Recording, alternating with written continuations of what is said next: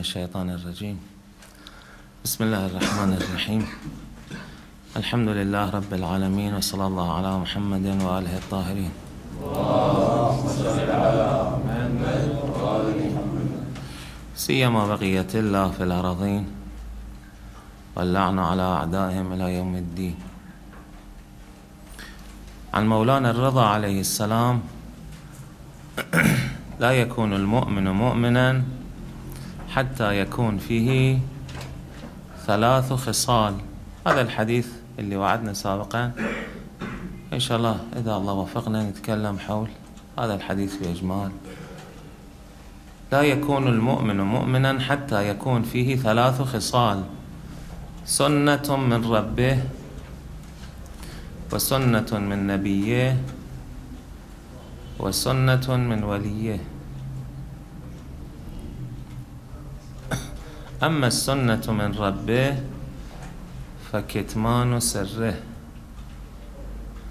والله عالم الغيب.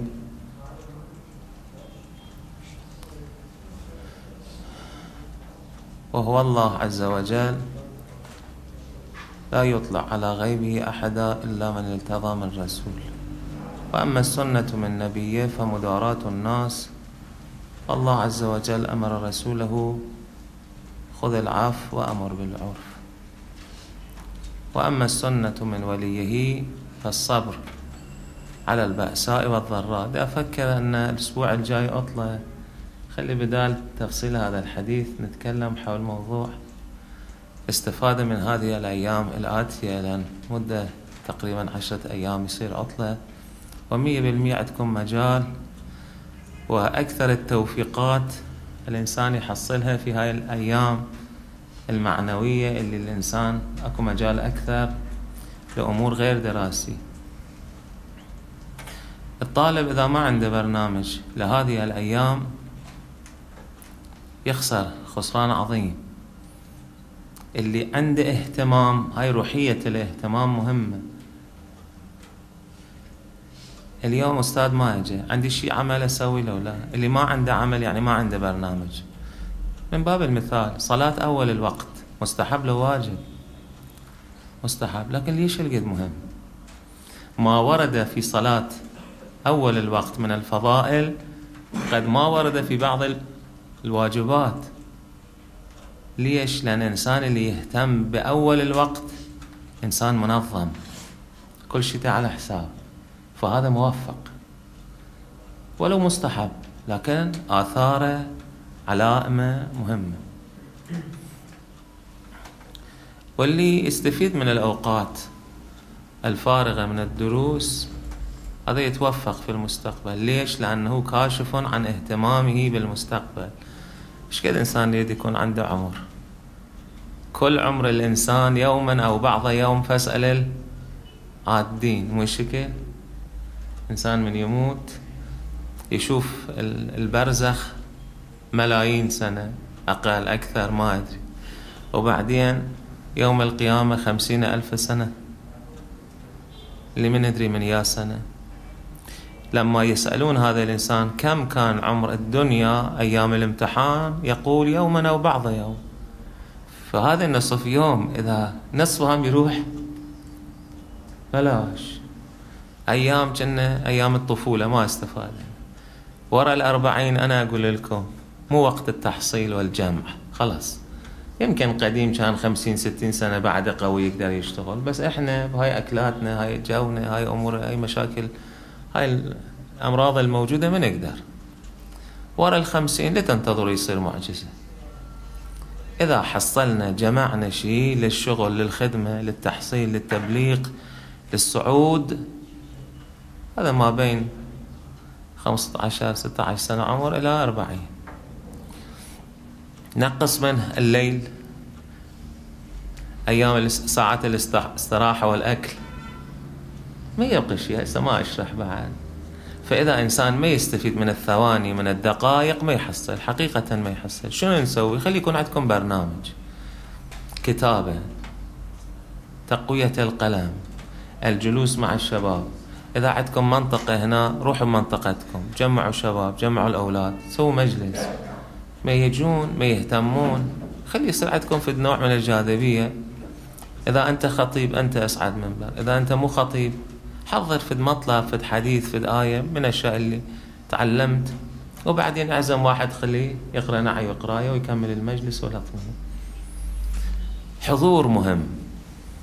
اهتمام مهم. يجي واحد بعد المجلس يقول لك شيخنا خلينا نقرأ سورة الحم شوف صحيح؟ كافي. يجيك بعد واحد يقول أنا بالمدرسة قالوا لي في شبهة اعتقادية شوف هاي شبهة تمام. شفتوا شلون الإنسان يقدر يستفيد من حرف حرف؟ الآن أذكر آية في هذا الباب. الآية 32 سورة التوبة. يريدون أن يطفئوا نور الله بأفواههم ويأبى الله إلا أن يتم نوره ولو كره الكافرون. أكو بعد مثل هاي آية في القرآن لو ماكو؟ أكو. في سورة الصف. آية ثمانية لكن بشيء قليل من الاختلاف. يريدون ليطفئوا. هناك شنو كان؟ أن يطفئوا. هاي الدقة ليش أنا أسأل؟ هاي الدقة فرق بين رجال الدين والغير. الناس. واحد اذان للسمع وواحد للاخراج ما سمع لكن رجل الدين لازم يدقق. أي كلمة أي مطلب أي لافتة أي اتفاق خارجي. مثلا تعبر تشوف مسجد خلوان أو بكل كبار السن. الغيرك يعبر ما يهمه بس أنت لازم يختلف. لما شفت جامع ما بي أحد معناه شنو؟ إما ما بي إمام جماعة وإما إمام جماعة كبير في السن وإما شاب لكن ما ما يخلي وقت على المصلي ما يشتغل صحيح؟ إذا عبرت من كوفي شوب أو مثلا مقهى شفت ازدحام و90% شباب غيرك يعبر ما يهمه لكن أنت لازم تشوف ليش جاي هنا؟ شنو سببه؟ ليش حضوره هنا هالقد هواي بمعاني. فهاي الدقة في جميع الأمور إحنا نحتاجها. يريدون ليطفئوا نور الله بأفواههم والله متم نوره. هناك شنو كان يأبى الله. والله متم نوره ولو كره الكافرون. لكن في الموضعين في السورتين أكو آية وراء هاي الآيتين بلا أي اختلاف. شنو هاي الآية؟ هو الذي أرسل رسوله بالهدى ودين الحق ليظهره على الدين كله ولو كره المشركون. هاي الآية صاير إلى الآن لو ما صاير محققة لو مو محققة. ليظهره على الدين كله. هاي الأسبوع دروسكم كان هواي مو؟ هو الذي أرسل رسوله ليظهره على الدين كله. صاير لو ما صاير؟ ما صاير. هاي من الآيات الغيبية. لأن تدرون من معجزات القرآن الإخبار عن المغيبات. ما صاير. غلبت الروم أن نزول الآية ما كان صاير. بعدين هذا يصير. نريد أن نمن على الذين استضعفوا. نجعلهم أئمة. لقد كتبنا في الزبور أن الأرض. فيصير هاي وعد إلهية من الوعد الغيبية. فكل الأرض ينادون يا أمير المؤمنين. كل الأرض ينادون يا حسين. يا زهراء سلام الله عليهم أجمعين.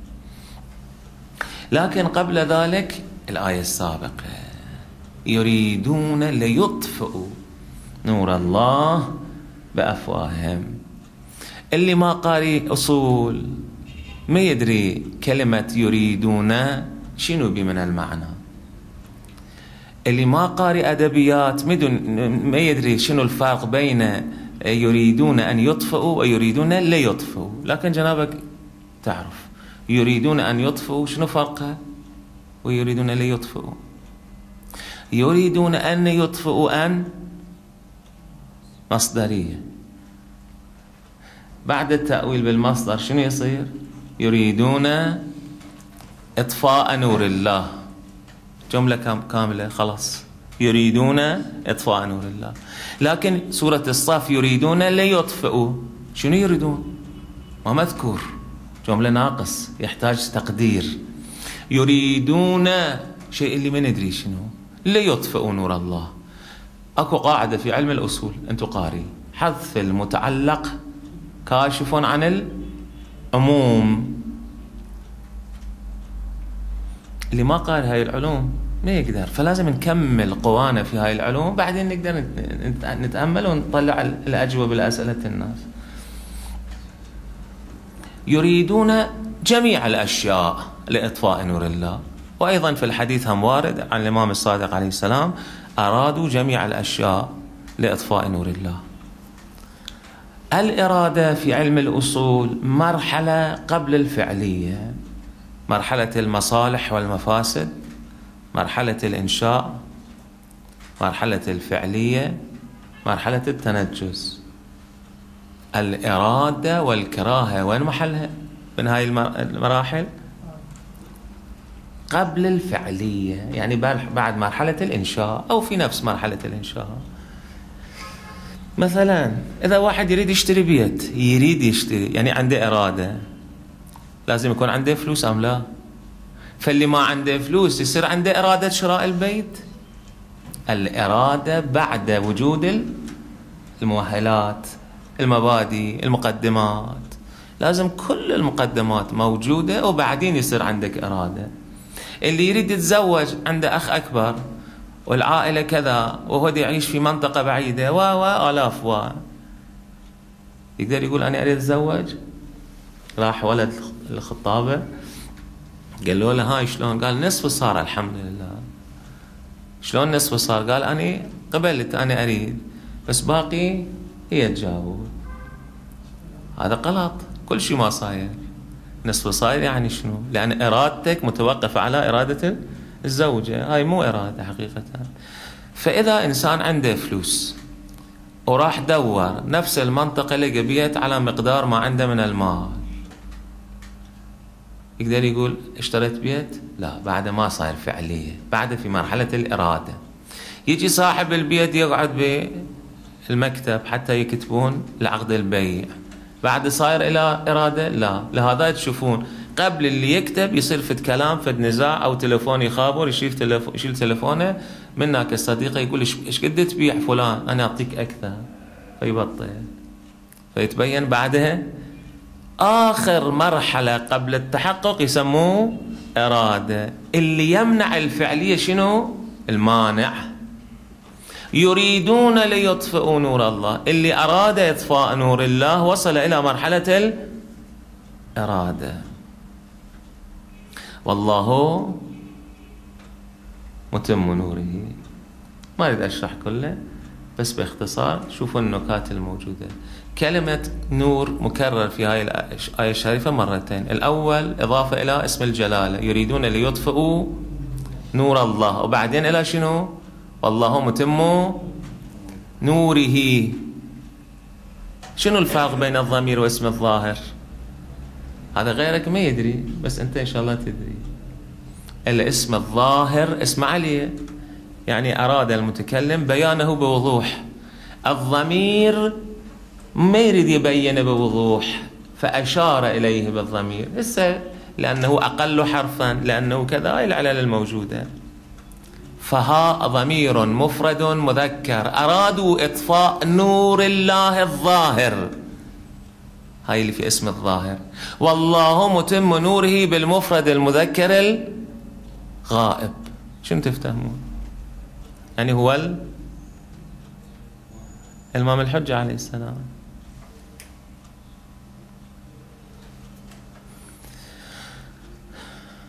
بعد شنو اكو في هاي الآية الشريفة؟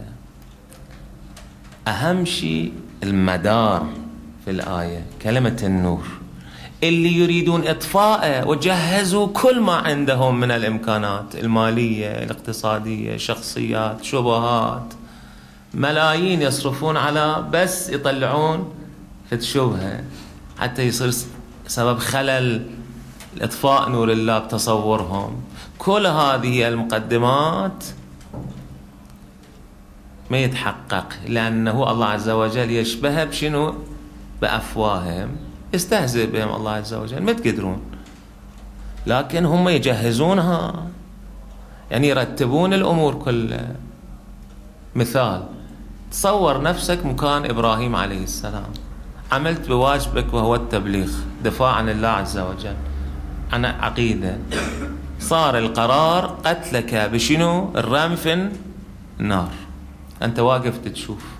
نادى الأمير الظالم انصروا آلهتكم. شنو نسوي؟ جيبوا خشب. أنت هنا مسدود على العمود جابوا الخشب مثلا. جابوا جابوا جابوا بمقدار اللي صار جبل وبعدين جابوا النار.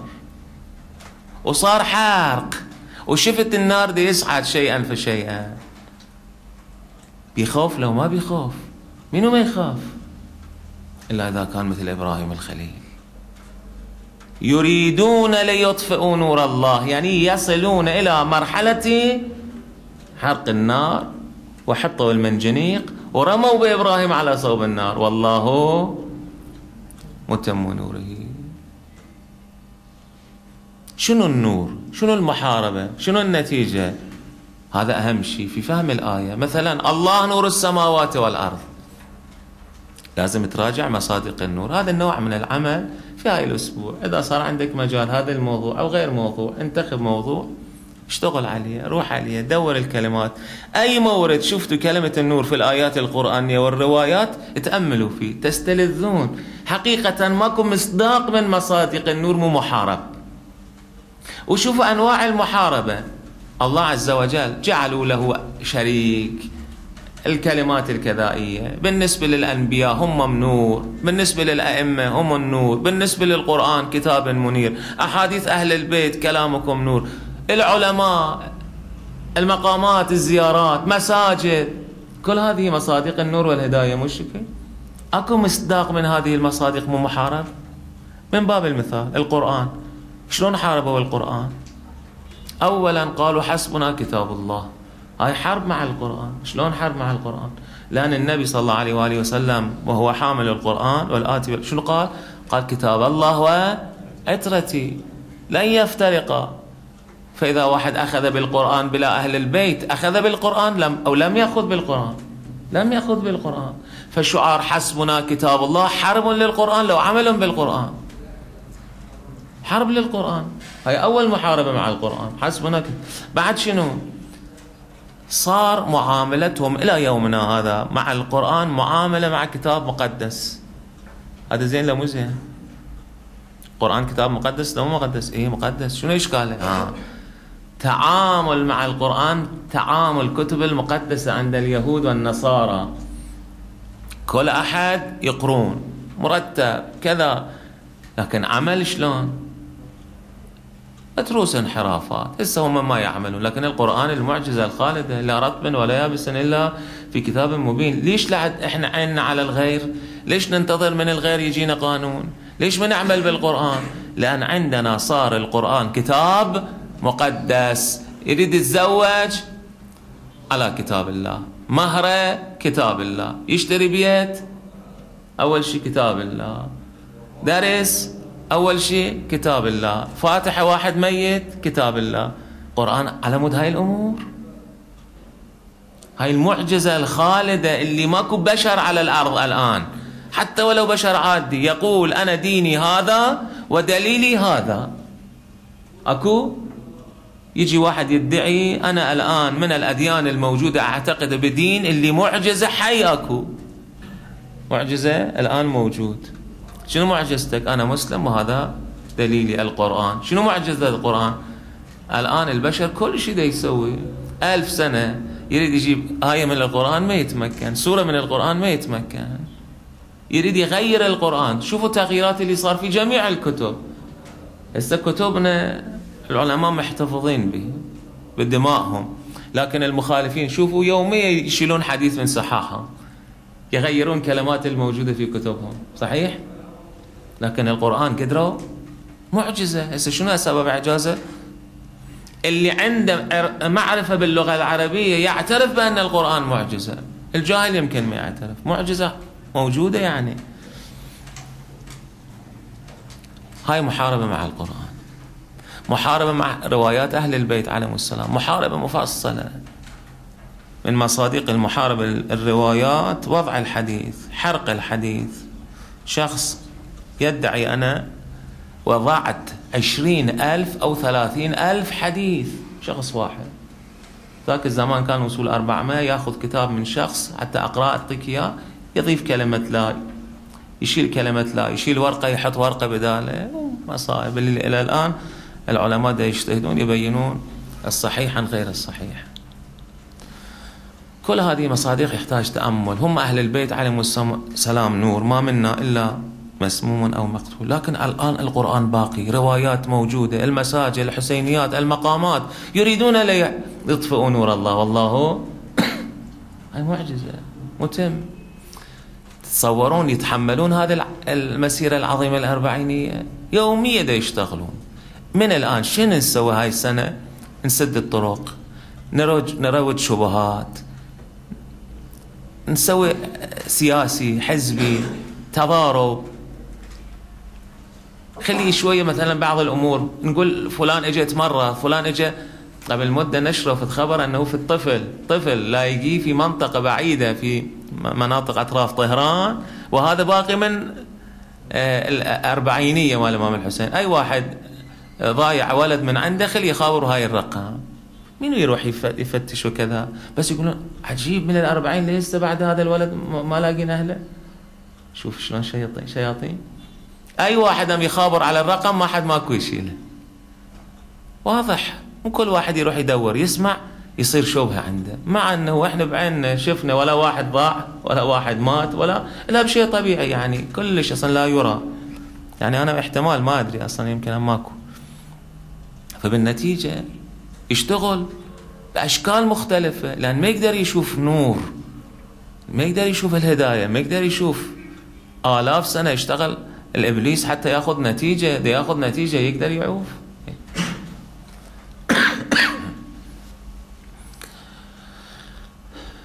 المحاربة مع آثار أهل البيت عليهم السلام مثل القبور المزارات. أنا شفت شاب واقف عند الرضا عليه السلام خارج حتى ما كان يدخل. أصلا مو ملتفت أطراف الناس دي يشوفوه. كالنهر كالعين دموع جاري على وجهه. مبين هذا الولد بعمره ما داخل مسجد وحسينية وما سامع مجلس مو أهل هاي الأمور مبين منه. لكن يهتدي بشنو؟ برؤية مزار الرضا عليه السلام. هذا العلم اللي يرف. تدرون لو ما تدرون؟ آلاف الناس حتى من وراء صفحة التلفزيون من يشوفون قبة الحسين عليه السلام يصير عندهم حالة بكاء وتوجه وتوبة وإنابة. شيطان يدري هذا الشيء ما يتحمل. شياطين الجن والإنس. مجلسي في بحار الأنوار ذاكر باب مفصل. روايات تاريخ واردة في محاربة خلفاء مع قبر الحسين عليه السلام. هسه إنسان حي يحاربكم؟ حاربوه. المزار شنو؟ ليش ما يتحملوا؟ حقيقة الحسين عليه السلام سفينة النجاة فلازم يؤخذ هاي السفينة. في هاي الباب من البحار إذا تراجعون تشوفون يذكر رواية من زيد المجنون اللي هو اجى وصل لبغداد حافي لما سمع أن قبر الحسين عليه السلام هدم.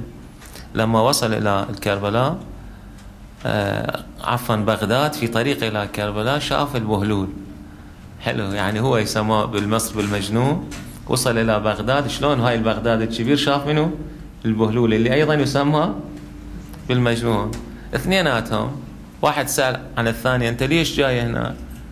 اعتمد ما خاف. قال أنا جاي على زيارة الحسين عليه السلام. سمعت عن قبر السيدة مولاي مهدوم. جاي أدافع. قال أنا ما أريد نفس الشيء. بس كنت أدور شخص. خلي نمشي سوا. يعني بالبلد ماكو ولا عاقل بس لازم مجنون يجي يدافع. حقيقة هذول أعقل العقلاء كانوا فلما وصلوا إلى الكربلاء ليلا لأن كانوا يمشون بخوف وسر آه، ما أدري صار عندهم سؤال أو سألوا أو مر على أذهانهم. الآن شلون نلقى قبر الحسين عليه السلام؟ لأن مذكور أنه ولا أثر باقي. لكن لأن مؤمن يعلم أن الله عز وجل هو وعد بأنه متم نوره فلا بد من وجود أثر. فلما وصلوا ليلا إلى هذا المقام هذا المكان العظيم الشريف رأوا عمود من النور من السماء إلى الأرض على موضع قبر الحسين عليه السلام. مدة هناك بقى صاروا صديق ويا هذا المسؤول الشرطة. بعد ما كان يمنعهم كان يجون يزورون الحسين عليه السلام. يوم من الأيام خاطبهم هذا المأمور قال أنا صار لي مدة هنا. ومأمور من قبل المتوكل بتخريب وهدم وجريان المياه. وهيجان الحيوانات على صوب القبر المقدس. وشفت معاجز. ليش أنا إلى الآن غافل وما أفتهم الله عز وجل يريد يحتفظ بهذا القبر. وأنا متوكل جاي. ليش متوكل جاي مو هو ابن رسول الله؟ صار من أهل الهداية. تشيع. رواية مفصلة.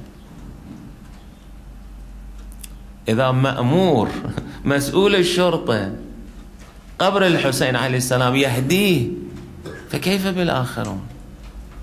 فما يتحملون. النبي صلى الله عليه وآله وسلم كان يتكلم كان يقولون هو ساحر اللي يريد يروح يم أولا لا تروحون. ثانيا إذا رحتوا حطوا شيء أذانكم حتى لا تسمعون سحرة. ما يخلون الناس يجون. قبل مدة كان جايين من الجزائر مجموعة شفتهم؟ يقولون تأثير زيارة الحسين أكثر من كثير من الأدلة. إنسان من يشوف من قريب يتأثر بهذا المزار المقدس. الله عز وجل كتب هكذا. يقول رجع المأمور. هاي آخر الرواية. لا بأس بذكره حتى أكمل. رجع هذا المأمور المسؤول الشرطة إلى بغداد دخل على قصر المتوكل يقول المجنون أنا رجعت معه. لأن أدري هذا المتشيع هذا المستبصر ما يخلوه حي يقتلوه. لأن إذا يبقى حي يصير سبب هداية الآخرين. فدخل في القصر بعد لحظات شفت جنازته ممثل يعني صار بتمثيل ذبه خارج القصر. شفت جنازته هكذا شلته غسلته كفنته وجبته بالوادي دفنته وقعدت على قبره أقرأ قرآن.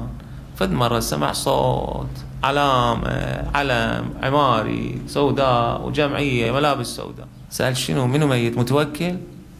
قال له لا هاي مغنية مال متوكل ميتة. هذه الجمعية وهذا الناس هاي صوت وصياح وبكي على مود مغنية مال متوكل؟ قام يضرب على رأسه مجنون ما يخاف بعد. وكان يقرأ الحسين عليه السلام يقتل فيترك بين المسلمين. هكذا ثلاثة أيام والمغنية في بلاد المسلمين هاي العظمة والعماري وعلم وناس ومشيعين. هاي شلون إسلام؟ لكن شنو صار؟ وين المتوكل؟ من يدري قبره وين؟ لكن قبر الحسين عليه السلام. مئة مليون أقل أكثر كل سنة يزورون الحسين عليه السلام.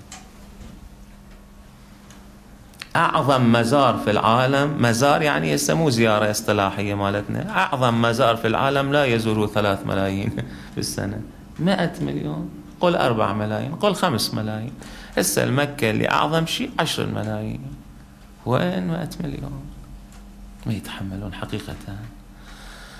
بعد ذلك نفهم سبب مجيء الزهراء سلام الله عليها خلف الباب. مو من جهة المصيبة. يريدون ليطفئوا نور الله. والله متم نوره. مو أساس الله عز وجل إعجاز. لا كل بطرق عادي. بقاء قبر الحسين عليه السلام. بعض الموارد إعجاز. كثيرا ما كان عن طريق الهداية. أسباب عادية.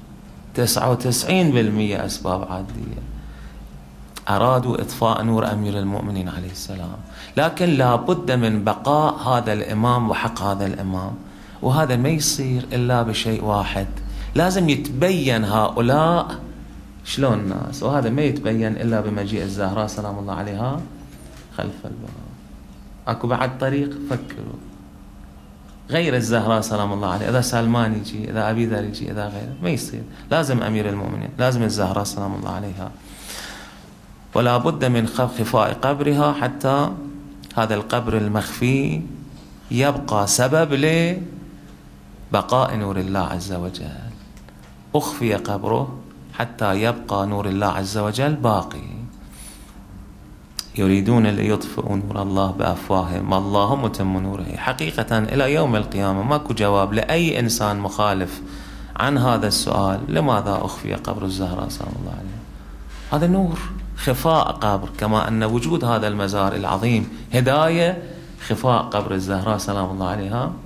هداية. اليوم واحد سأل. تفضلت أن عند ظهور الإمام عليه السلام أيضا القبر مخفي.